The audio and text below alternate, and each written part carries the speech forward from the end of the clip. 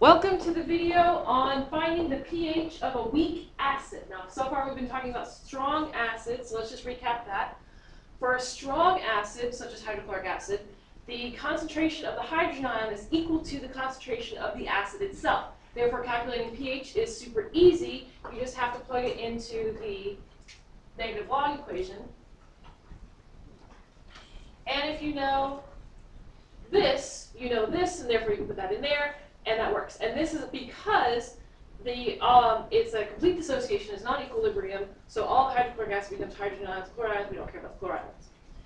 We run into a problem with the weak acids because the concentration of the acid is actually greater than the concentration of the hydrogen ion. But that's not a very specific term. How much greater than? How much hydrogen ion do we actually have?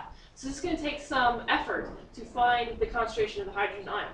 The reason that the hydrogen, uh, the acid concentration is higher, higher is because of this equilibrium. It's not a, a balanced equilibrium. It's actually very heavily in favor of the forward direction. Only a small amount of this is going back to make the reactants. So, I'm sorry. It is very heavily favoring the reverse reaction. Only a small amount of this is actually going forward to making the hydrogen. So we have far less hydrogen than we have acid. But the question is how much, and we're going to talk about that in just a second. But before we do, I want to discuss who are the weak acids. The weak acids, okay, you should memorize your seven strong acids, and everybody else is weak. Typically, they're organic compounds. For example, acetic acid here um, is like this, and this is how you draw an organic compound. We're going to talk about, we're going to have a whole unit on how to do that. But you notice that there are several hydrogens here. The only hydrogens that are going to get dissociated are hydrogens that are part of a polar bond. So you remember polar and nonpolar from your pre-AP days. But these three hydrogens are part of nonpolar bonds. Basically, a hydrogen bound to a carbon is not going to dissociate. That's a nonpolar bond. This hydrogen, however, is part of a polar bond. So when acetic acid dissolves in water, this hydrogen will leave. Now, it will not 100% of the molecules will not lose their hydrogen, and that's why this is an equilibrium. Some of the, the, molecules will, some of them won't, and some of these will get back together again and make the acetic acid again. By the way, here X just means whatever is the anion that's attached to our hydrogen. We don't care about the anion, therefore I don't really put too much effort into figuring out what it is. Okay, so if we had a question with a strong acid asking for the pH, all we need to know is the concentration of the acid, plug that in, take negative log, we know the pH. If we want to know what is the concentration of, I'm sorry, what is the pH of a weak acid, again, we still need to know, if we're still going to use this equation, we still need to know what our concentration of hydrogen is, and then we're going to take the negative log of that find pH. The question is, what is the concentration of hydrogen? Because it's not this. So we know it's not just taking the negative log of 0.3. So we got to figure out what is our um, what is our concentration of hydrogen at the end. Now, since this is an equilibrium, we can use a Rice table. So acetic acid, like this, breaks down into hydrogen ions and and acetate ions. Okay, so here's our reaction. For our initial, we have 0.3 molar of that. We have none of this and none of this. And so for our change, we don't know what the change is going to be. We're losing some amount. But Fortunately, we can use stoichiometry, so we're going to gain that same amount of hydrogen and acetate. So down here we have 0.3 minus x. And here we have x, and here we have x. And so hopefully you remember from Unit 3 that we can solve this as long as we know what the Ka is. In class, I'm going to give you a photocopy of Appendix D, which is one of your appendices in the back of the book. So if you wanted to just pull out your book right now and follow along, you can. But in class, you're going to get Appendix D, which comes, of course, right after Appendix C. So you're going to get this acid, uh, uh, aqueous equilibrium process, a whole slew of Kas for weak acids.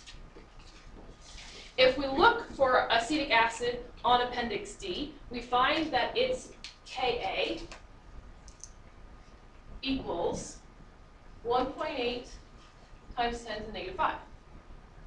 Now, since this is far, far less than um, 1 times 10 to the negative 4, we can pretend that this negative x is gone. It doesn't exist this minus x here. Now we need to keep those x's there, but hopefully you remember this from Unit 3, that uh, because the amount of the compound that's dissociating is negligible as compared to the initial amount, we can pretend that that's just not even there at all. So then we need to write our Ka expression.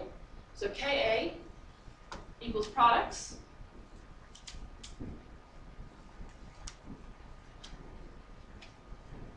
over reactants. I should have picked one that was shorter right. Okay, so K equals that. We know we can plug in these values for that, and we can plug in this value for Ka. So 1.8 times 10 to negative 5 equals x squared, because this is x and that's x, so might as well just put x squared. And in this, we're going to drop the, the minus x, because this is less than negative 4. So therefore, that is our Ka expression. Now we just have to solve this. So multiply by 0.3, and then um, divide by the, I, I'm sorry, and then take the square root. So let me get my calculator so I can figure that out. All right.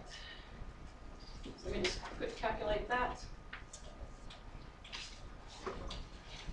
So x, in this case, equals 2.3 times 10 to the negative 3 molar. Now, we're not done. And you need to get used to the notion that you solve for x and you're not done. You got to do something with it. What is our x? That's the next thing you have to do. Once you figure out what x, the number, what does x represent? x in this case represents the concentration of hydrogen ions. But that's not what I'm asking for. I'm asking for the pH. Well, now that we know the concentration of hydrogen ions, we can very easily find the pH.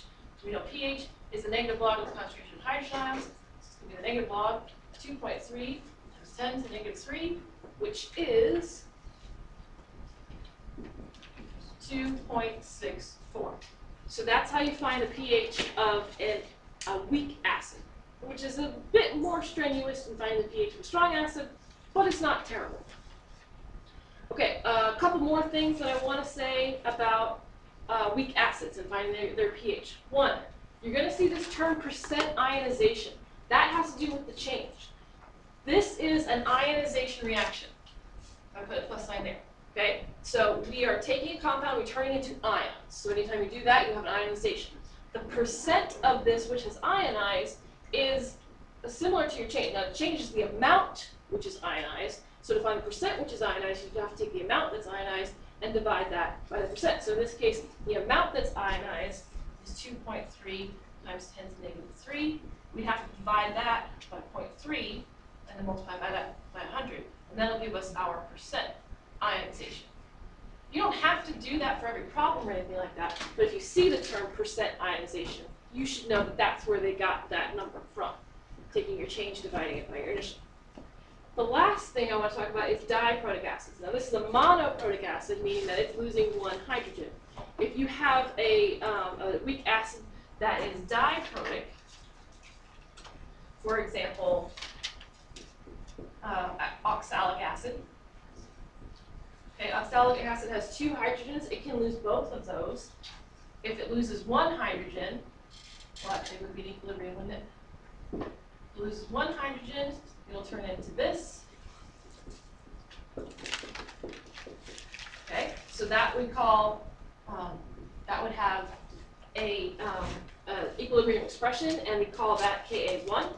And then that this could go on and lose another hydrogen, remaining hydrogen. Lose it. And we call this Ka2. The relationship between Ka1 and Ka2 is that Ka1 is going to be so much greater than Ka2. And when you look at your appendix D in the book, or when I give you the handout in class, you will find the Ka1s are much larger than the Ka2s. Therefore, most of the hydrogen that's going to be in the solution came from the first dissociation. Which means if we're doing a problem like this, what's the pH of 0.3 molar of oxalic acid? You don't need to do two Rice tables, one for the first dissociation, one for the second. You can ignore the second dissociation. It is not going to produce a meaningful amount of hydrogens. So therefore, we can just do one Rice table, just talking about the first dissociation and using that Ka value and use that to calculate the pH. So diprotic acids aren't any harder than monoprotic acids, and there's triprotic acids. The same thing. All right, so that's how you find the pH of a weak acid. Thank you.